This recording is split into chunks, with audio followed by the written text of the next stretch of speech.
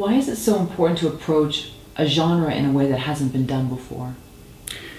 It goes back to that first rule of Hollywood, which is that Hollywood marketing is based on selling genres.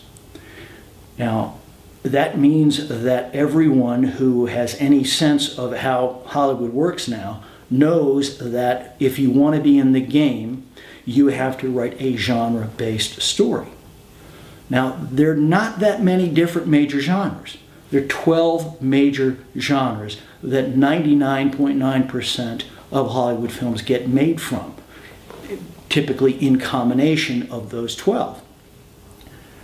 Now, there's the problem, which is that if everybody is writing a genre script, and genres, of course, have or essentially have anywhere from 8 to 15 basic story beats that must be present in that script if you are writing that genre script properly. If all you do is write that genre in its normal way, you're going to write a script that everybody else is writing that has no chance to sell. And this is why in my class I'm constantly talking about these are the beats of the genre which gets you in the game.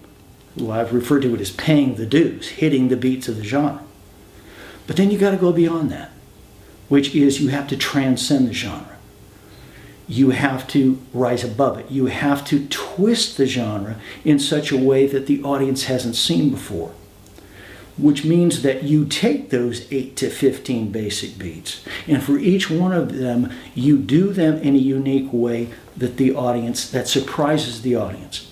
And notice that what you get there when you transcend the genre is you get to have your cake and eat it too which is you give the audience all the genre beats that they're coming to that movie to see but you're also surprising them. You're putting a different skin on those bones in a way that they haven't seen before. So they get that double pleasure.